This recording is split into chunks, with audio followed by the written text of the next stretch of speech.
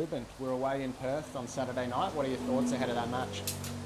Uh, it's a good test. It's a good challenge for the group. Um, obviously, a couple of solid performances from us now, which is nice. Um, I feel like, you know, we've kind of wrestled the momentum back in our favour, which is good. And you know, when you've got momentum, you want to keep your foot on the pedal. So look, we look to travel to Perth in good spirits and in good health, and uh, go over there and put in another solid performance.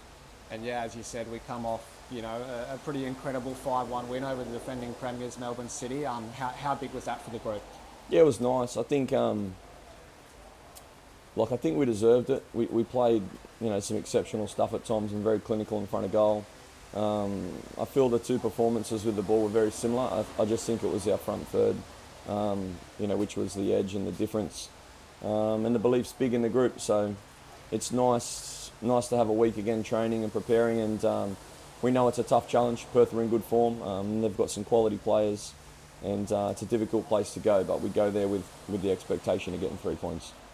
Um, and Perth, obviously, a team you know very well, having coached there last season, been a player there yourself. Um, I guess what are you sort of expecting from them, and how will it be to go back there? Yeah, look, they're very good at home. It's a Perth's a it's a place uh, where the fans get behind their team when they're doing well, and uh, at the moment they're in good form. So I expect it to be a, you know, them like the extra man for them. Um, but the focus is on us, and uh, I keep saying it to the group. There's areas that we can improve. Um, I'm a big stickler for the detail, and so I've been trying to impart as much as I can on the boys in a short uh, period of time and make sure that we're organised and structured, and uh, that our processes are sound and um, the attitude and the mentality from the group strong, which is always a good indication of a, of a good performance. It, it kind of feels a little bit like we're settled and we're stable after two good results, but you know, reality is you're only going into your third game with the club. You know, how, how do you sort of think it's all coming along and, and sort of building under under yourself and Chris? Yeah, it's good. It's a work in progress. I, um, you know, my, my job at the moment and my role, my, you know, the first and foremost at the at the front of my mind is just to give stability to the group um, to the club, to the, to the fans, the members, um, and especially the playing group. I think um, you know they've been through a lot. Change is difficult uh, for everyone, especially footballers in uh, in this type of environment. So it's it's uh, it's in my mind that I just want to give some some stability to the group, um, but I'm also ambitious and I'm, and I'm driven and. Uh, you know, everything I do, I do, um, you know, with full force. And so, you know, myself and Queenie and, and also the staff that were already here, Frankie and Graham and everyone, the, the S&C team, know, our medical team.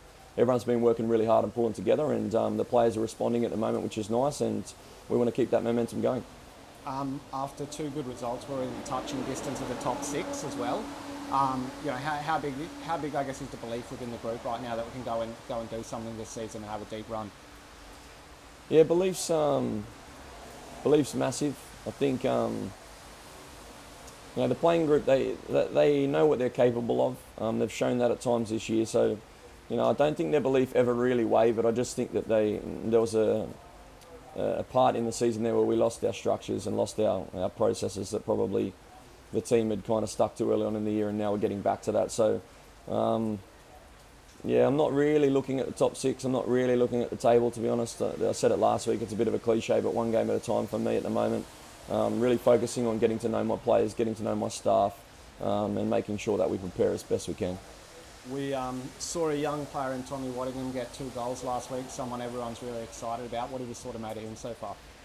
Yeah, there's a there's a there's a group of young ones here that are they have the right um, they have the right mentality and, and, their eyes are open and their ears are open and they're willing to learn and so that makes them coachable and for me that's a a really nice thing. You know, that's a that's the part of the job probably that I like the most, if I'm honest, is that time with players, especially one on one, and trying to get them to their best. Young Tommy last week um, took on some information really well and executed the game plan really well, and um, there's no substitute for putting your heart on your sleeve and going out there and, and being brave. And uh, I think that's why Tommy got his rewards. You know, hard work. So it'll be a similar recipe for him. Obviously, a different scenario. He's up against um, some experienced centre backs uh, in, that Perth have, and um, it'll be a good test for him as I'm sure you're well aware, Tommy sort of embodies what probably Brisbane Roar want to be all about at the moment. Um, young young Queenslanders shining, you know, on the national stage.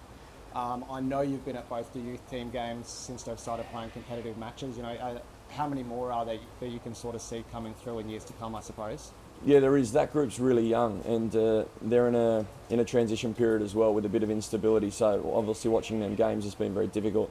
Um, but there's some young talent in that group. Um, they just need some direction and some leadership, and the club's working really hard to try and find find the right people to give them that. But um, yeah, Brisbane's always been a place where it's a it's a huge talent uh, pool. Uh, the state produces quality players, and um, the ones that, that grow up here, they know the Queensland spirit, and they live and breathe that. And uh, that's something I'm really big on. We, we need to harness that. We need to focus on that. Um, the the fans and members at this club, you know, when they're when they're given something to believe in and something to respond to, they're massive, and um, that Queensland spirit is is very strong.